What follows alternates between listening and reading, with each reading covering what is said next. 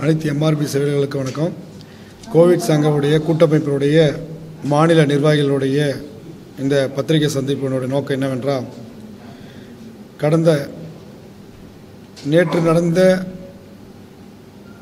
மாண்புமிகு சுகாதாரத்துறை அமைச்சர் மற்றும் உயர் அதிகாரிகளுடனான பேச்சுவார்த்தையில் என்ன நடந்தது? பேச்சுவார்த்தையில் நட நடைபெற்ற வாதங்கள் என்ன? அதை எம்ஆர்வி கோவிட் செல்வர்களுக்கு தெரிவிக்கும் விதமாகவும் மக்களுக்கு தெரிவித்து தெரிவிக்கும் விதமாகவும் இந்த பத்திரிகை சந்திப்பை வந்து நாங்கள் அரேஞ்ச் பண்ணியிருக்கோம். அது மட்டும் இல்லாத எங்களோட அடுத்த கட்ட நடவடிக்கை என்னன்றதையும் இந்த பத்திரிகை சந்திப்பு மூலமாக நாங்கள் தெளிவுபடுத்த விரும்புகிறோம். மாண்புமிகு சுகாதாரத்துறை அமைச்சருடைய அழைப்பை ஏற்று நேற்று பேச்சுவார்த்தைக்கு நாங்கள் போயிருந்தோம். பேச்சுவார்த்தையில் வந்து பல விஷயங்களை வந்து பேசப்பட்டது. பேச்சுவார்த்தை வந்து பதினோரு மணிக்கு எங்களை இன்வைட் பண்ணாங்க. ஆனால் எங்களை நாலரை மணிக்கு தான் எங்களை வந்து உள்ளே கூப்பிட்டாங்க. ஆனால் உயர் அதிகாரிகள் பார்த்தீங்கன்னா பதினோரு மணிக்கே வந்துட்டாங்க. வந்துட்டு மண்புக அமைச்சர் மூன்று மணிக்கு வந்தார். அமைச்சர்களுடைய பேச்சுவார்த்தை எல்லாமே பார்த்தீங்கன்னா முற்றிலும் மாண்பு சுகாதார அமைச்சர் மற்றும் அதிகாரியுடைய பேச்சுவார்த்தை எல்லாமே இர ப்ரீ பிளான்டு ப்ரீ பிளான்டு ஒரு மீட்டிங்காக தான் நம்ம வந்து கன்சிடர் பண்ண முடியாது. ஏன்னா பேச்சுவார்த்தைன்றது பாதிக்கப்படுறவங்க அரசு அதிகாரிகள் அப்படி இருந்து பேச்சுவார்த்தையை நடத்தியிருந்தால் நல்லாயிருக்கும். ஏற்கனவே பே பதினோரு மணிக்கு அழைப்பு கொடுத்துட்டு நீங்கள் மூணு நாலரை மணிக்கு ஏற்கனவே பேசி வச்சுட்டு நாலரை மணிக்கு எங்களை கூப்பிட்டு பேசுகிறாங்க நாலரை மணிக்கு என்ன பேச்சுவார்த்தைன்றாங்கன்னா நீங்கள் வந்து ரிசர்வேஷனில் வரல அப்படின்ற மாதிரி ஒரு விஷயத்த சொன்னாங்க. ரிசர்வேஷனில் வரல அப்படின்னா எப்படி வரலன்றதுக்கான ஆதாரத்தை நாங்கள் கேட்டோம். நீங்கள் வரலன்றீங்களா? அதுக்கான ஆதாரத்தை கேட்டால் அரசு தரப்பில் அதை நிரூபிக்கலை. ஆனால் ரிசர்வேஷனில் தான் நாங்கள் வந்திருக்கிறோன்றதுக்கான எவிடன்ஸை வந்து நாங்கள் சப்மிட் பண்ணோம். அந்த எவிடன்ஸை வந்து அவங்க ஏற்றுக்கல ஏன்னா அதற்கு ஆதாரமே பார்த்தீங்கன்னா இப்போ நாங்கள் கேட்குற மாவட்ட சுகாதார சங்கத்துக்கு நாங்கள் வந்து இதை முதல் முறையாக வந்து இந்த பிரச்சனையை நாங்கள் கொண்டு வரல. அரசு தரப்பு திசை திருப்புறாங்க. ஏற்கனவே கடந்த ரெண்டாயிரத்தி இருபத்தி ஓராம் ஆண்டு நாங்கள் வந்து டிசம்பர் ச- செப்டம்பர் இருபத்தெட்டாம் தேதி எங்களை வந்து ட- மாவட்ட சுகாதார சங்கத்துக்கு எங்களை மாற்றுறது முயற்சி செஞ்சாங்க. அப்பயும் போராட்டம் செஞ்சு நாலாம் தேதி அதாவது வந்து நான் நாலு அக்டோபர் அன்று பேச்சுவார்த்தையில் படி பார்த்தீங்கன்னா எனக்கு இந்த ஒப்பந்த பணி நியமனம் வழங்கி அவங்களை ரெகுலரைசேஷனுக்கான ஒப்பந்த பணி பணி பாதுகாப்பு உடைய ஒப்பந்த பணி வழங்குறேன்னு சொல்லிட்டு ஒரு கமிட்டி போட்டாங்க. அந்த கமிட்டியினுடைய அடிப்படையில் தான் இவங்க வந்து பார்த்தீங்கன்னா மூணாயிரத்தி இரநூறு செவிலியர்கள் இருக்கோம். மொத்தமாக ஆறாயிரம் பேர் நாங்கள் ஆறாயிரம் பேரில் மூணாயிரம் பேருக்கு வழங்கப்பட்டது. மூணாயிரம் பேர் வந்து டிஸ்ட்ரிக்ட் ஹெல்த் சொசைட்டியில் போன வருஷமே பண்ணுற ரெண்டாயிரத்தி இருபத்தி ஒன்றில் பண்ண முயற்சி பண்ணாங்க. அதை வந்து நாங்கள் தடுக்க விதமாக போராட்டம் பண்ணோம். போராட்டத்தினுடைய விளைவாக அது விட்ரா பண்ணாங்க. பேச்சுவார்த்தைக்கு வந்து இதே மாண்பு சுகாதார அமைச்சர் இப்போ தற்போது உள்ள கூட்டுத்துறை அம கூட்டுறவு துறை செயலாளர் அவர்களும் அடிஷனல் சீஃப் செக்ரட்டரி இருக்க டாக்டர் ராஜாகிருஷ்ணன் ஐஏஎஸ் அவர்களுடைய தலைமையில் நடைபெற்ற ஒரு கமிட்டியில் மூலியமாக தான் மூன்றாயிரத்தி இரநூறு செவிலியர்களில் ரெண்டாயிரத்தி முந்நூற்றி அறுபத்தி ஆறு செவிலியர்கள் மெரிட் அண்ட் கம்யூனியல் ரொட்டேஷன் சொல்லி இரண்டு ஐஏஎஸ் ஆஃபீஸர் நல்லா ஞாபகம் வச்சுங்க. எம் டேரக்டர் ஆஃப் மெடிக்கல் போர்டுடைய சேர்மனாக இருக்கிற ஐஏஎஸ் ஆஃபீஸரு தென் வந்து பார்த்தீங்கன்னா எம்மா அப்போதைய உள்ள சுகாதார செயலாளர் அவரோட ராதாகிருஷ்ண ஐஏஎஸ் அவர்களும் அப்போது உள்ள குருநாதன் அவர் அவர் டிஎம்எஸ் உடைய டைரக்டர் மூணு பேரும் சேர்ந்து கமிட்டி ரிப்போர்ட் படி தான் மூன்றரை இப்போ நாங்கள் எங்களை இடஒதுக்கீடு இல்லைன்னு சொல்கிறாங்கல்ல இவர்கள் இடஒதுக்கீடுகள் தான் வந்தார்கள் என்று கமிட்டி ரிப்போர்ட் கூறுகிறது. அந்த கமிட்டி ரிப்போர்ட்டை வந்து நீங்கள் ஏன் மறைக்கிறீங்க? மறுபடியும் எதுக்கு ரிசர்வேஷன் இல்லை நீங்கள் போய் சொல்கிறீங்க அப்படின்னு சொல்லி நாங்கள் ஆர்கியூ பண்ணுறோம் அந்த கமிட்டி ரிப்போர்ட்டை அன்பு அமைச்சர் கேட்குறாரு எடுத்துட்டாங்கன்னு. சார் அவர் வந்து ஒரு அதிகாரி டிரான்ஸ்ஃபர் போயிட்டாரு. ஒருத்தர் ரிட்டையர் ஆகிட்டாரு இன்னொருத்தர் டிபார்ட்மெண்ட் மாறிட்டாரு இப்படின்னு சொல்லிட்டு அதிகாரிகள் வந்து உண்மைக்கு புறமாக டாக்குமெண்ட்டை மறை மறைக்கிறாங்க. அதுக்கு ஆதாரம் பார்த்தீங்கன்னா இங்கே ஹெல்த் அண்ட் ஃபேமிலி வெல்ஃபேரில் பார்த்தீங்கன்னா இருபத்தி ஒன்பது மூணு ரெண்டாயிரத்தி இருபத்தி ரெண்டில் சட்ட நர்சஸ் அவருமே representative that among the among the uh, among the above the said the contact nurses about 240 to, uh, 2,472 nurses who actually joined were appointed based on the merit and communal rotation. Among the reserved list of the MRB 2019 nurses examination and requested to consider the against a vacancy. This issue is under the examination of the government. அப்படின்னு சொல்லிட்டு இன்னொரு வார்த்தையை ஒன்று சொல்கிறாங்க என்ன சொல்கிறாங்கன்னா இன் circumstances பேரா பேரா வந்து டெம்பரரி போஸ்ட் கண்டினியூ இவங்களை வந்து கண்டினியூ பண்ணலாம் அப்படின்னு சொல்கிறாங்க இன்னொன்று இன்னொன்று ஒன்று சொல்கிறாங்கன்னா செகண்ட் டைமில் இருக்கிற அடாபேசஸ் அனெக்சர் ஒன்னில் வந்து அனெக்சர் டூவில் இருக்கிறவங்க என்னன்றாங்கன்னா அனெக்சர் டூவில் இருக்கிறவங்க நீங்கள் ரிசர்வேஷன் இல்லை. அவங்களால உங்களுக்கு வந்து பணி நீட்டி பண்ண முடியாது. டிஸ்கண்டினியூ பண்ணுங்க அப் டு தேர்ட்டி பர்சன்ட் இது நான் படிக்கிற மாதிரிங்க. In respect of the all the other contract temporary nurses appointed at ad hoc basis other than those are indicated para two நான் சொல்கிறது பேரா ஒன்று வந்து ரிசர்வேஷன் இருக்குன்னு சொல்லிட்டு ஐஏஎஸ் மூணு பேர் செஞ்ச குழு சொல்லுது. பேரா டூ என்ன சொல்கிறாங்கன்னா para two including the those are who appointed temporary all district maybe continue up to only முப்பத்தி ஒன்று மூணு ரெண்டாயிரத்தி இருபத்தி ரெண்டு அந்த முப்பத்தி மூணு ப- மூணு ரெண்டாயிரத்தி இருபத்தி ரெண்டில் இருக்கிறவங்கள தான் டெர்மினேட் பண்ணாங்க. எதுக்காக பண்ணாங்க? ரிசர்வேஷன் இல்லை இடஒதுக்கீடு க- கடைப்பிடிக்கலன்ட்டு. இப்போது நேற்று பேச்சுவார்த்தையில் நாங்களே பேச்சுவார்த்தையில் வந்து நாங்கள் இடஒதுக்கீடு இல்லைன்னு சொல்லி ஒத்துக்கிட்டா சொல்கிறாங்க நாங்கள் பேச்சுவார்த்தையில் என்ன கேட்டோன்னா ஏற்கனவே கமிட்டி போட்டாச்சு. அப்போ அந்த கமிட்டி போட்ட அதிகாரிகள் போட்ட ரிப்போர்ட்டு பொய்யா? அப்போ அந்த கமிட்டி மேலே வந்து விசாரணை கமிஷன் வைக்க தயாராக நீங்கள் அப்போ அந்த கமிட்டி போய் என்ன அது மேலே விசாரணை கமிஷன் நீங்கள் வைக்கணும்ல அரசு தரப்பில்? அதுதான் எங்களுடைய முதல் வாதம். ரெண்டாவது வாதம் ஏற்கனவே டெர்மிட் ஆனவங்களுக்கு வந்து ரிசர்வேஷன் ரீஷெடியூல் பண்ணி நாங்கள் கோரிக்கை வச்சா நீங்கள் ரிசர்வேஷனே இல்லைன்னு சொல்லிட்டு நாங்களே ஒப்புக்கணும்னு சொல்லி பத்திரிகையாளர் சந்திப்பில் அரசு தரப்பில் சொல்கிறாங்க இது எந்த விதத்தில் நியாயம்? இதுதான் எங்களோட முதல் கேள்வி. ரெண்டாவது வந்து நாங்கள் வந்து பார்த்தீங்கன்னா வந்து என்ன சொல்கிறாங்க நீங்கள் சிக்ஸ் மந்த்தில் வந்து நீங்கள் அப்பாயிண்ட் ஆகணுங்கன்ற ரெண்டாவது வாதத்தை வச்சாங்க. சிக்ஸ் மந்த் அப்பாயிண்ட் ஆன நர்சஸுக்கு வந்து நீங்கள் தொள்ளாயிரத்தி ஐம்பது நர்சஸுக்கு வந்து நீங்கள் வந்து கொடுத்துருக்கீங்க. அப் டு வந்து பார்த்தீங்கன்னா நீங்கள் வந்து ரெண்டரை வருஷம் வேலை வாங்க கொடுத்துருக்கீங்க. சிக்ஸ் மந்த் அப்பாயிண்ட் ஆன மருத்துவர்கள் வாய்ப்பு கொடுத்துருக்கீங்க.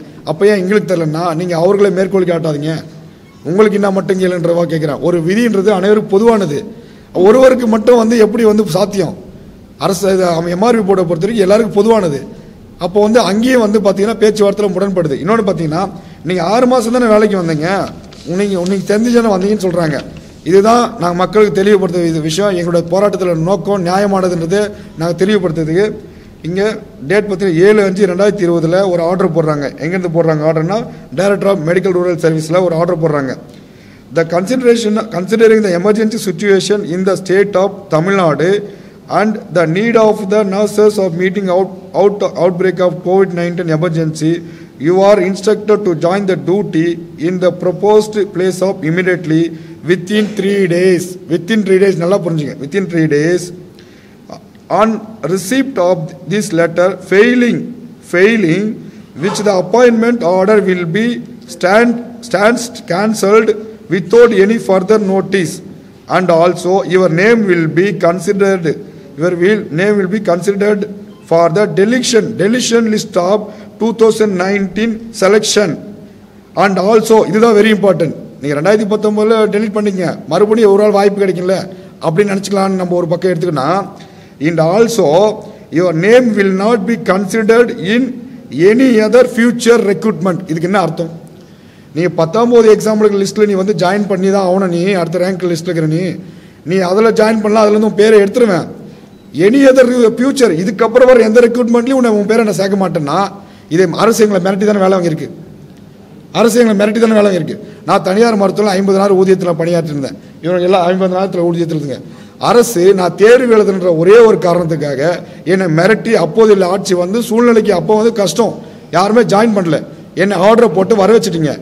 என்னை கட்டாயப்படுத்தி ஆர்டரும் போட்டுட்டு நீ பிற- பின்னாடி நீ எக்ஸாம் எழுத முடியாதுன்னு சொல்லி மிரட்டி வாங்கிட்டு நான் ஐம்பதாயிரம் சம்பளத்தை என் வாழ்வாதை பறிச்சுக்கிட்டு ஏன் நீ ஆறு மாதத்துலேயே போகலன்னு கேள்வியும் கேட்டு இடஒதுக்கீடு இல்லைன்னு ஒரு பொய்யான விஷயத்தையும் சொல்கிறாங்க அப்போ அந்த ஐஏஎஸ் போட்ட இப்போ தற்போது அடிஷனல் சீஃப் செக்ரட்டரியாக இருக்கார் டாக்டர் ராதாகிருஷ்ணன் ஐஏஎஸ் அவர்கள். அப்போ அந்த கமிட்டி நீ அந்த கமிட்டி பொய்யா அப்போ? அப்போ விசாரணை பண்ணுங்கள் அந்த கமிட்டியில் யார் யாரெல்லாம் இருந்தாங்க? கமிட்டி ரிப்போர்ட் எடுங்க. மாண்பும் முதலமைச்சருக்கு நாங்கள் வேண்டிக் கொள்வது யார் யார் நாங்கள் பாதிக்கப்படுறோமோ அவர்களை வைத்து எங்களை பேச்சுவார்த்தை நடத்துகிறார்கள். ரெக்ரூட்மெண்ட் அத்தாரிட்டி யாருங்க? நர்சஸுக்கு recruitment authority director of medical rural service அவங்க தான் அடுத்தது என்னோட கண்டக்டிங் எக்ஸாம் கண்டக்டிங் பாடி யார்? டி இது எம்ஆர்பி போர்டு இவங்க ரெண்டு பேரை தவிர நேற்று எல்லாரும் பேசுகிறாங்க டிபிஹெச்சுக்கு எங்களுக்கு பேச்சுவார்த்தை சம்மந்தமே கிடையாது. என்ஹெச்எம்முக்கு வந்து அவங்க ஃபண்டிங்கு போஸ்டிங் சாங்ஷன் மட்டும்தான். அப்பாயிண்டிங் அத்தாரிட்டி இருக்கிறவங்க எங்களை பற்றி பேசவே இல்லை மீட்டிங்கில் அதே மாதிரி எம்ஆர்பி போர்டில் இருக்கிறவங்க வந்து ரெஸ்பாண்ட் பண்ணல. இப்போ பிரச்சனை என்ன? இடஒதுக்கீடு இருக்கே இல்லையான்ட்டு. இடஒதுக்கீடு இருக்கதா இல்லைன்னு யாரும் தெளிவுபடுத்தணும்? எம்ஆர்பி போர்டு தான் தெளிவு பண்ணணும் ஏன்னா அவங்க தான் எக்ஸாம் கண்டக்ட் பண்ணாங்க. அவங்க அதை பற்றி எதுவுமே பேசலை நேற்று மீட்டிங்கில் அப்பாயின்மெண்ட் போட்டு என்ன பண்ணாங்க? நீங்கள் செலெக்ஷன் ரிசர்வேஷன் தான் ஃபாலோ பண்ணி போட்டிங்களான்னு அவங்க சொல்லணும்ல. அவங்களும் வாயை திறக்கல. இப்போ நான் படிக்கிறேன் கேளுங்க. The ad hoc basis nurses appointment two thousand five seventy GOD number four sixty இது பார்த்தீங்கன்னா மெரிட் அண்ட் கம்யூனியல் ரொட்டேஷன் யார் எத்தனை பேர் ஜாயின் பண்ணியிருக்காங்க பாருங்க. ஆயிரத்தி ஐநூற்றி ஆறு பேர். ரெண்டாயிரத்தி ஐநூற்றி எழுபது பேருக்கு ஆயிரத்தி ஐநூற்றி ஆறு பேர் ஜாயின் பண்ணியிருக்காங்க அப்போது இதில் எஸ்சிஆர் எம்பிசிஆர் எஸ்டிஆர் இடஒதுக்கீடு பின்பற்றப்பட்டது. அப்போது யார் ஜாயின் பண்ணலையோ அதுக்கு ஒரு இடஒதுக்கீடு ஒரு மாதம் கேப்பில் எடுக்கிறாங்க. எஸ்சிஆர் எஸ்டிஆர் எம்பிசிஆர் இடஒதுக்கீடு போடுறாங்க. இதில் எங்கே விதிமீறல் இருக்குது இதில் எப்படி விதிமீறல் வரும்? இது அது அது வந்து எங்களோட வாதம். இதை இதை உறுதிப்படுத்தும் விதமாக ஏற்கனவே இதே பிரச்சனை போற ரெண்டாயிரத்தி இருபத்தொன்னு வர சொல்ல கமிட்டி இதே அமைச்சரவையில் கமிச்சு கமிட்டி அமைக்கப்பட்டது. கமிட்டி ஒத்துக்குச்சு. கமிட்டியோட ஆர்டர் இருக்குது. அப்போ அந்த கமிட்டி பொய் இல்லை இவங்க சொல்றது பொய்யா? எது எது பொய்? இப்போ நாங்கள் சொல்றது பொய்யா? நேற்று பேச்சுவார்த்தை பொய்யா? இல்லை அந்த கமிட்டி பொய்யான்றது அரசு தரப்பில் தான் சொல்லணும். எங்களுக்கு நியாயம் கிடைக்கணும். ரிசர்வேஷன்ன்றதுனால தான் எங்கள் பணி பறிக்கப்படுது. ரிசர்வேஷனை நாங்கள் உறுதிப்படுத்தணும். இதை வந்து மாண்புமிகு முதலமைச்சர் அவர்கள் வந்து எங்களை வந்து தெளிவுபடுத்தி பல்வேறு அதே மாதிரி பேச்சுவார்த்தைக்கு நாங்கள் ஒரு ஒரு ஆதாரத்தை நாங்கள் வைக்கிறோம் சார். ரிசர்வேஷன் இருக்குது சார் எங்கள் டாக்குமெண்ட்னு உடனே நான் இங்கே பதில் சொல்கிறதுக்கு முன்னாடி அங்கே ஒரு அதிகாரி எங்களை டைலூட் பண்ணுறாரு அங்கே ஒரு பதில் சொல்கிறதுக்கு முன்னாடி இன்னொரு அதிகாரி டைலட் பண்ணேன் இது எல்லாமே திட்டம் போட்டு பதினொரு மணிக்கு எங்களை அழைப்பை கூப்பிட்டு நாலரை மணி எங்களை கூப்பிட்டு என்னென்ன பேசணும் பேசி வச்சுட்டு பண்ணுற மாதிரி தான் எங்களுக்கு இருக்குது எங்களை பேசியே விடலை. நாங்கள் ஆதார் கொடுக்குற ஆதாரத்தை வந்து எக்ஸ்பிளை எடுத்துக்க மாட்டேன்றாங்க. இது எந்த விதத்தில் நியாயம்? நியாயம் கேட்க நாங்கள் மக்கள்கிட்ட தான் வரோம் உங்களை உயிரை நாங்கள் காப்பாற்றணும் காப்பாற்றினதுக்கு தண்டனையாக என்னை கட்டாயப்படுத்தி வேலையும் வாங்கிட்டீங்க. இதுக்கப்புறம் எந்த ஃபியூச்சரில் நீ வரவும் கூடாது இல்லை என்ன வந்து சேரலான்னு மிரட்டி மிரட்டி ஆர்டர் போட்டீங்க. சேர்ந்தவங்களை வந்து ஆறு மாதம் கழிச்சு நீ ஏன் போலன்னு ரெண்டு வருஷம் வேலையும் வாங்கிட்டீங்க. சம்பளமும் ஆறு மாதம் தரல. ரிசர்வேஷன் இல்லை நான் உள்ள வேலையை விட்டு தூக்கிறேன் அப்படின்னு சொல்கிறாங்க ரிசர்வேஷன் இருக்கிறதுக்கான ஐஏஎஸ் போட்ட கமிட்டி இதுதான் இம்பார்ட்டன்ட்டு அதுவும் இப்போ இதை ஏற்றுக்க முடியாதுன்னா அப்போ அந்த கமிட்டி மேலே என்கொயரி வைங்க. என்கொயரி வைங்க. எந்த ட்ரூத்ஃபுல்னஸ் என்னன்னு கண்டு வைங்க. அதை பற்றி நாங்கள் சொன்னால் அதை பற்றி அந்த கமிட்டி ரிப்போர்ட்டை மாண்புமிகு முத அமைச்சர் கேட்குறாரு நீங்கள் அந்த கமிட்டி ரிப்போர்ட் கேட்டால் அதிகாரி கொடுக்க மறுக்கிறாங்க. மறுபடியும் சொல்கிறேன் மாண்புமிகு அமைச்சர் வந்து நாங்கள் வந்து ஏதாவது அவங்களுக்கு பண்ணுங்கன்னு வந்து சொல்கிறாங்க அதிகாரிகள் வந்து பல குழப்பத்தை உண்டாக்குறாங்க அந்த பேச்சுவார்த்தையில். பல குழப்பத்தை உண்டாக்குறாங்க. இவங்க அந்த அந்த அந்த ஒரு ஒரு மிர- ஒரு மிரட்டு தோணலையவே அவங்க பேசுகிறாங்க அதிகாரிகள் லெவலில். இதுதான் வந்து எங்களுக்கு மிகவும் வேதனையாக இருக்குது. எங்களுக்கு நியாயம் எங்கே கிடைக்குன்றது எங்களுக்கு நீங்கள் தான் வந்து பத்திரிகை ஊடகங்கள் மூலியமாக மக்கள் தான் எங்களுக்கு நியாயம் கிடைக்கணும். இதை தெளிவுபடுத்தும் விதமான மன்மோகன் முதலமைச்சர் அவர்கள் ஒரு ஓய்வு பெற்ற நீதிபதி மூலிமா ஒரு விசாரணை குழுவை கொண்டு வரணும். கொண்டு வந்து எங்கே ஊழல் நடந்திருக்கு எங்கே தப்பு நடந்திருக்கு விதிமீறல்னா விதிமீறல் பண்ணது நர்ஸா அதிகாரிங்களா? அப்பாயிண்டிங் அத்தாரிட்டி யாருங்க?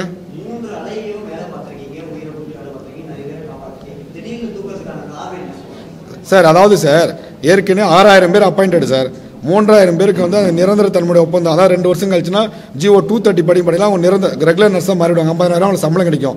இப்போ எங்களுக்கு ஏற்கனவே அந்த ஸ்கீமை வந்து அப்ளை பண்ணாமல் கான்ட்ராக்ட் நர்சஸ் பார்த்தீங்கன்னா ஒரு பத்தாயிரம் பேர் இருக்காங்க. அவங்க சமவேளை சமூகத்தின்னு சொல்லி நீதிமன்றத்தில் ஏகப்பட்ட வழக்கு போட்டிருக்காங்க. அந்த வழக்குலால உயரதிகாரிகள் நிறைய வந்து க- க- பாதிப்படைகிறாங்க வழக்கு அடிக்கடிக்கு போடுறீங்கட்டு இப்போ மறுபடியும் ரெண்டாயிரம் பேர் அந்த ஸ்கீமுக்கு அவங்க கேட்கறது கொடுத்தோம்னா இன்னும் பன்னெண்டாயிரம் பேருக்கு இவங்களுக்கு பண்ணி கொடுக்கணும். அதனால் இவங்களை டிஸ்ட்ரிக்ட் ஹெல்த் சோசியல் கட் பண்ணி விட்டுட்டோம்னா இந்த பிரச்சனை முடிஞ்சு நம்மளுக்கு நிதி குறையும்ன்றது தான் அவங்களோட இது. ஒரு வேளை நாங்கள் நான் ஒரே ஒரு ஓப்பன் சேலஞ்ச் கொடுக்குறேன்.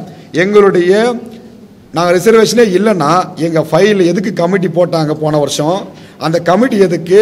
ஹியூமன் ரிசோர்ஸ் டெவலப்மெண்ட்டு டிபார்ட்மெண்ட்டுக்கு எதுக்கு போக போகப்பட்டது? அங்கே ஏன் அப்ரூவல் கொடுத்தாங்க? அந்த ஃபைல் நம்பர் நாங்கள் சொல்லட்டுங்களா? கவர்மெண்ட்டோட file number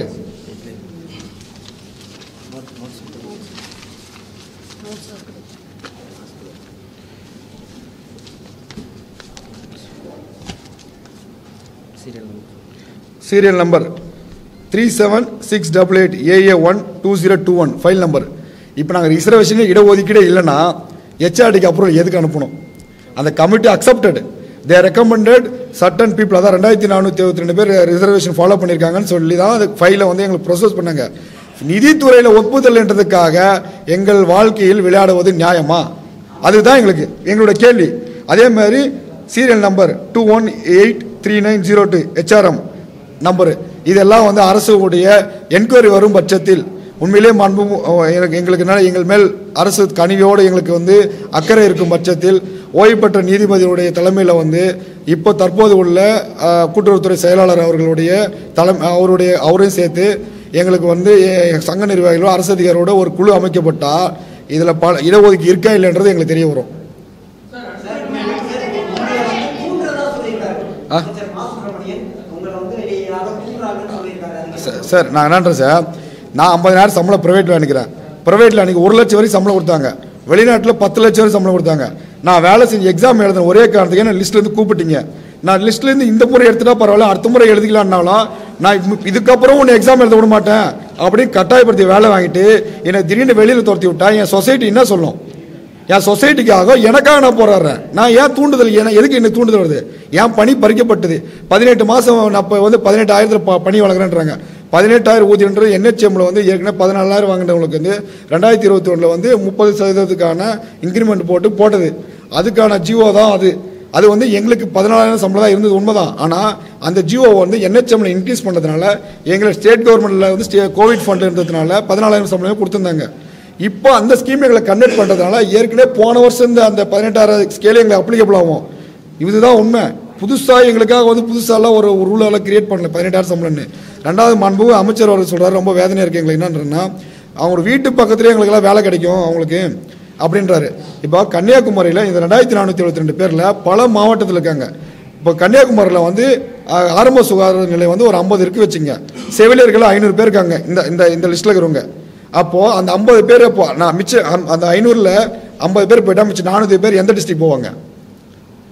இது இதெல்லாம் அரசு தெளிவுபடுத்தணும் ஏன் போக மாட்டேன்ற காரணத்தை கேட்குறீங்களா? ரெண்டாவது நாங்கள் இன்னொன்று கேட்குறோம் எங்களுக்கு வந்து உடனே நிரந்தரம் பண்ணலாம் கேட்கல. ஏற்கனவே வேகன்சி வந்து ரெ- மூணாயிரத்தி ஐநூறு வேக்கன்ட் இருக்கு. அதெல்லாம் தற்காலிகமாக கண்டினியூ பண்ணுங்க. கண்டினியூ பண்ணுறதுக்கு எங்களை அலோவ் பண்ணுங்க. நீங்கள் வந்து மண்பு அமைச்சர் வந்து முயற்சி செய்கிறாரு நாங்கள் வந்து வேணா திருப்பி வந்து நாங்கள் ஃபினான்ஸில் எல்லாம் பேசி ஒன்றா அவங்க ட்ரை பண்ணலாம். அதுவரை அவங்க கண்டினியூ பண்ணுண்டு அதிகாரிகள் துளியோட கூட ஒத்துக்கொள்ளவில்லை. யார் ஒத்துக்கலைன்னு பார்த்தீங்கன்னா அப்பாயிண்டிங் அத்தாரிட்டி வாயை திறக்கல.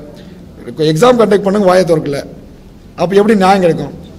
அப்போ யார் இது இது இந்த இந்த இதை யார் கண்ட்ரோல் பண்ணுறாங்க சுகாதாரத்துறைன்ற கேள்வி எங்களுக்கு எழுப்புது இல்லை இது நாங்கள் மக்கள்கிட்ட வந்து நியாயத்தை கேட்குறோம் உங்களை உயிரை காப்பாற்றுனாங்க இதை இவ்வளோ குளறுபடிக்குது. இதுக்கு என்ன பதில் சொல்ல சொல்லியிருக்கோம். போராட்டத்துக்கு வந்து காவல்துறை கேட்ட அனுமதி நாங்கள் கேட்டிருக்கோம்.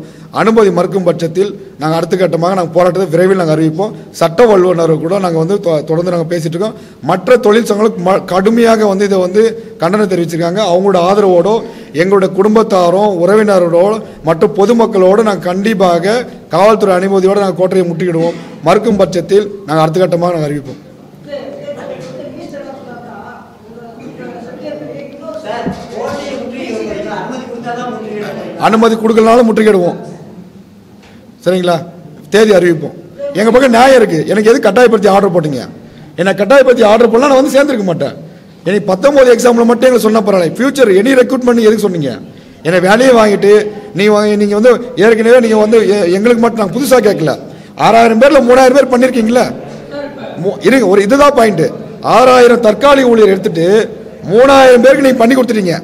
மூணாயிரம் பேருக்கு ஏன் பண்ண மாட்டேங்கிறீங்க? அது பண்ணது மூணாயிரம் பேருக்கு பண்ணது விதிமீறல்னா மூணாயிரம் பேர் பண்ண விதிமீறல்னா அந்த விதிமீறல் செஞ்ச அதிகாரி மேல் நடவடிக்கை எடுங்க.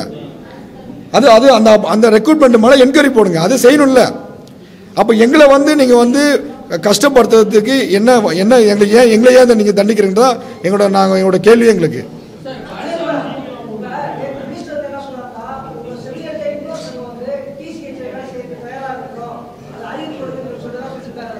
சரிங்க சார். அதான் சார் ஒரு லெட்டர் பேரில் வந்து நாலு பேர் வந்து லெட்டர் கொடுத்தாங்கன்றதுக்காக அது வந்து ஒட்டுமொத்தம் அப்படின்னு பார்த்தா இங்கே நீங்கள் பார்த்தீங்க எங்களோட உண்ணாவிரத போகிறதுல எத்தனை ஆயிரம் ஆயிரக்கணக்கான செவிலியர் இருந்தாங்க.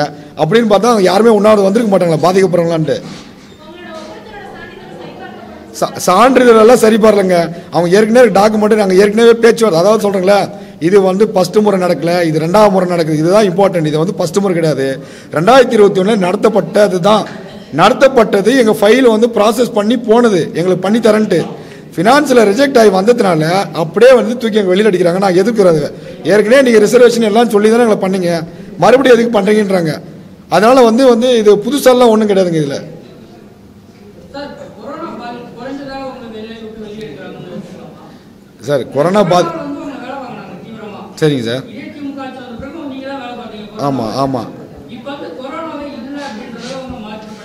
சார் கொரோனா இருக்குதோ இல்லையா சார்? காலி பேரோட எம்ஆர்பி இருக்குங்களா இல்லையா?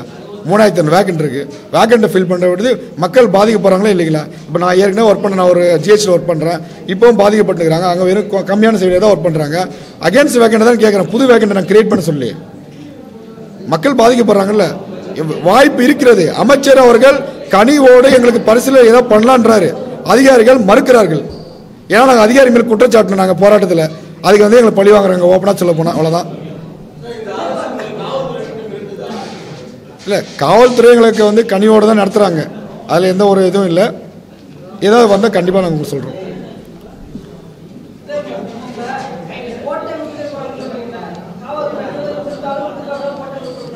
கொடுத்தால் சட்ட விதிக்கு உட்பட்டு நாங்கள் நடத்துவோம். கொடுக்கலன்னா அனைத்து சங்கத்தோட வர போகிறோம் நான் ஒன்று கொரோனா நர்ஸ் மட்டும் வர போகிறதுங்களா எம்ஆர்பி வேலை செய்ய நர்ஸ் வருவாங்க அரசு ஊழியர்கள் வருவாங்க. எல்லா சங்கத்தோட நான் இருக்குது தான் இது இன்னும் அநியாயம் பாருங்கள் நான் இ- நீ கட்டாயப்படுத்தி ஆர்டரை போட்டு விட்டு எங்க வந்து நியாயம் பேசுனா ஆறாயிரம் பேர் மூணாயிரம் பேர் ஒரு ரூல்ஸை ஃபாலோ பண்ணிட்டு எனக்கு உனக்கு அந்த ரூல்ஸை நான் ஃபாலோ பண்ண மாட்டேன். நீ வேணா கோர்ட்டுக்கு போனால் எந்த வித நியாயம். கோர்ட்டுக்கு போய் நாங்கள் நீதி வாங்கிட்டு வந்து கொடுக்கணுமா? பேசிகிட்டு இருக்கோம்.